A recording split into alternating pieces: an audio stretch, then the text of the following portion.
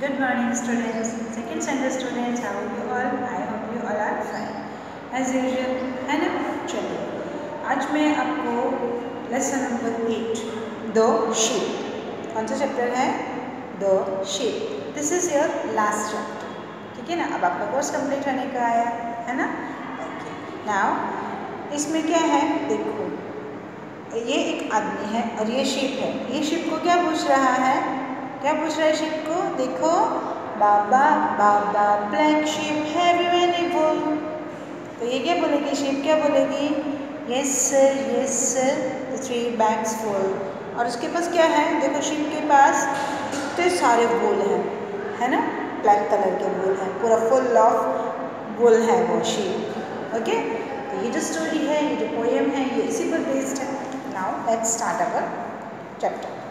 Lazy ship, please tell me why in the pleasant field, you उसने कहा कि ओ lazy ship तुम इतनी लेजी क्यों हो?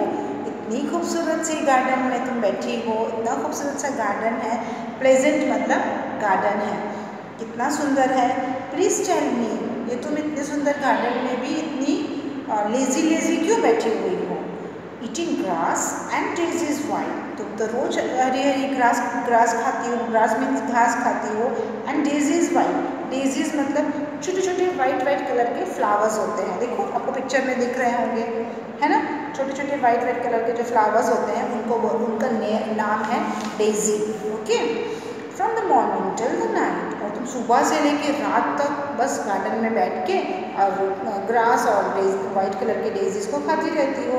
Everything can something do but kind but what kind of use are you और तुम्हारा क्या यूज़ है? तुम्हारा क्या यूज़ है? इस तरीके से तुम बैठी रहती हो यहाँ पर। ने my little master nay in this poem and A Y nay तो you have to use year no nay का मतलब है नो तो no my little master no do not serve me so उसने कहा कि प्लीज़ आप ऐसे मत बोलो। किसी को मुझे इतना अंडर एस्टिमेट मत करो।